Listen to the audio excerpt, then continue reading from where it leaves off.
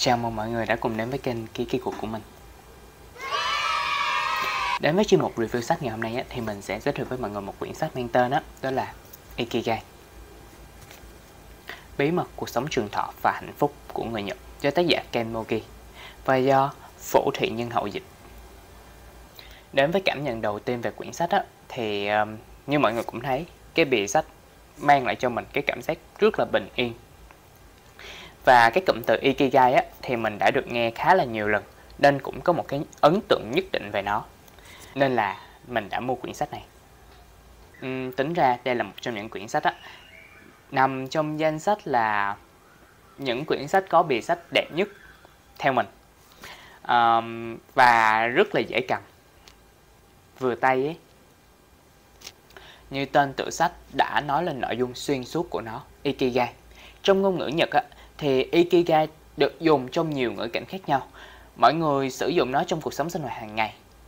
Nhiều đến độ mà cũng chẳng cần quan tâm là cụm từ này có một cái ý nghĩa gì đặc biệt hay không. Nó chẳng có một định nghĩa gì cụ thể cả. Như là khi các bạn học ngôn ngữ đi thì có những từ á, mà các bạn không thể nào dịch đúng nghĩa 100% theo nghĩa gốc của nó được. Thì Ikigai cũng như vậy. Nhưng để mà người xem á, có một cái nhìn khái quát hơn thì mình xin phép định nghĩa cụm từ Ikigai theo những gì mà mình đã đọc được trong sách đó, đó chính là sự tận tụy, tận tâm và là lý do để bạn thức dậy mỗi sáng. Và có 5 yếu tố cốt lõi của Ikigai. Đó là điều đầu tiên á, là bắt đầu từ những việc nhỏ bé. Điều thứ hai á, đó là giải phóng cái tôi cá nhân. Điều thứ ba, sự hài hòa và tính bền vững. Điều thứ tư là niềm vui đến từ những điều nhỏ bé. Và điều cuối cùng là sống trọn với khoảnh khắc hiện tại và sách cũng có những ví dụ rất đậm chất Ikigai để người đọc có thể hình dung. Như là về một người đầu bếp, tận tụy thức dậy từ rất là sớm để mà chọn những con cá ngừ ngon nhất. Thậm chí ông còn ước rằng á, mình có thể chết trong lúc làm sushi. Ikigai chính là vậy. Nó cứ diễn ra âm thầm, không khoa trương, người đầu bếp ấy đã phải tự khích lại bản thân rất là nhiều lần. Nhất là trong giai đoạn đầu, khi mà những nỗ lực của ông á, không ai để ý tới. Tốt thôi chưa đủ, như đa phần mọi người trên thế gian này. Khi mà đạt tới một độ tốt nhất định rồi á, sự cải thiện về chất sẽ giảm so với nỗ lực ban đầu. Nếu thật sự muốn thành công á, thì chúng ta không thể chỉ thỏa mãn ở mức độ hiện tại được. Đến với ví dụ tiếp theo á, đó là dưa xả hương. Món quà được xem là biểu hiện cao quý nhất của sự tôn trọng. Với một miếng dưa có thể lên tới 200 USD. Vì sao lại mắc như vậy? Vì loại trái cây này được trồng trọt theo phương pháp đặc biệt, là mỗi nhánh chỉ có một trái duy nhất để mà có thể dồn tất cả dinh dưỡng vào một trái đó thôi. Nó đòi hỏi rất là nhiều nỗ lực. Ví dụ tiếp theo là về chén ngàn sao. Chiếc chén được xem như là khao khát cả đời của nghệ nhân làm gốm. Nó như đại diện chơi giải thưởng Oscar, giải thưởng cao quý nhất của hội điện ảnh. Vì sao chiếc chén ngàn sao lại được khao khát tới như vậy? Vì xác suất để mà tạo ra một chiếc chén ngàn sao á, nó chỉ là một trên hàng chục ngàn mẫu vật. Và hiện nay trên thế giới á, chỉ có 3 chiếc mà thôi. Và quyển sách là Bí mật sống trường thọ và hạnh phúc của người Nhật á, thì đương nhiên sẽ nói về những cái um, phong tục tập quán rất là riêng của nước Nhật chứ phải không? Như là Recitaiso, những cái bài nhịp điệu ngắn phát theo nhạc trên đài phát thanh được áp dụng tại các trường học, nơi làm việc và thế giới sumo.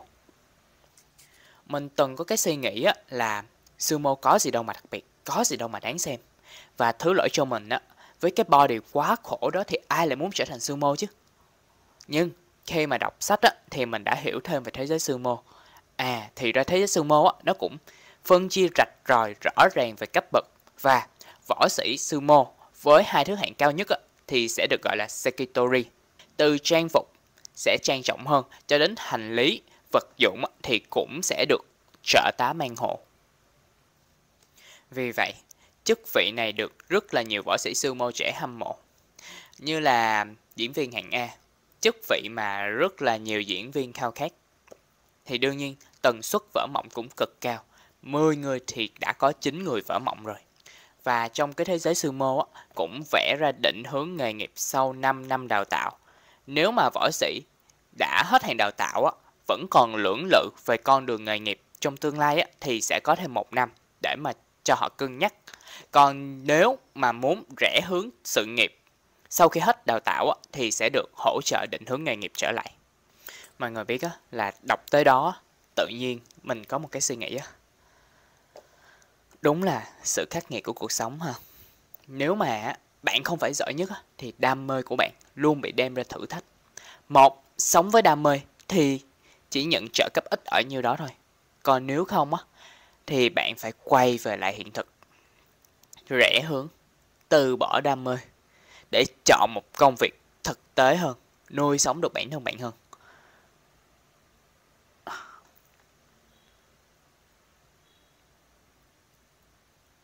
Mình đã mình suy nghĩ như vậy đó. Tuy ví dụ nhiều là vậy và mình cũng tìm được tiếng nói chung trong sách nhưng không nhiều.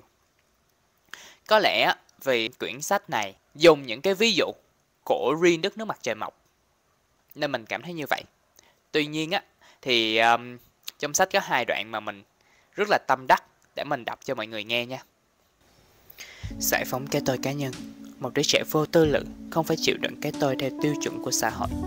Một đứa trẻ chưa cần có một sự nghiệp cụ thể hay là địa vị xã hội. Thật tuyệt vời khi mà duy trì lối sống của một đứa trẻ trong suốt cuộc đời. Và nếu có thể khiến cho nỗ lực, lao động trở thành nguồn hạnh phúc của mình khi ấy bạn đã vượt qua thử thách quan trọng bậc nhất trong đời. Những niềm vui và sự hài lòng nội tại sẽ chính là động lực để tiếp tục công việc um, như việc mình làm vlog đi thì rất là ít người xem. Nhưng mà mình vẫn cứ làm. Mình không biết là mình sẽ kiên trì được đến bao giờ. Có thể là mình sẽ từ bỏ sớm thôi. Hoặc là cũng có thể là mình vẫn tiếp tục ra video cho 10 năm tới. Mình không biết nữa. Um, chỉ biết á là khi mà mình mình sẵn content cho những video của mình à thì mình rất là vui. Mình như kiểu được sống với chính mình vậy á ok, thì đó là tất cả những gì mà mình muốn truyền đạt trong video review sách ngày hôm nay mong rằng các bạn sẽ thích chiếc clip này của mình và nếu mà thích thì hãy share những chiếc clip này để mình có cơ hội tiếp cận và thấu hiểu được nhiều bạn hơn nha IG của mình là Kanchiki và mình vẫn luôn cập nhật cuộc sống thường nhật của mình trên đó. Bạn cũng có thể comment trực tiếp phía bên dưới về cảm nghĩ của bạn sau khi xem hết chiếc clip này cũng như là chủ đề mà bạn muốn mình thực hiện mình sẽ note lại và mình rất rất là trân trọng luôn. Cảm ơn các bạn vì đã để mình có cơ hội tạo ra một vài khác biệt trong cuộc đời của các bạn nha. Còn bây giờ đi, chào tạm biệt và hẹn gặp lại. Khoan, từ từ, đừng vội nha. Những chiếc video tiếp theo đây hoàn toàn là dành cho bạn đó.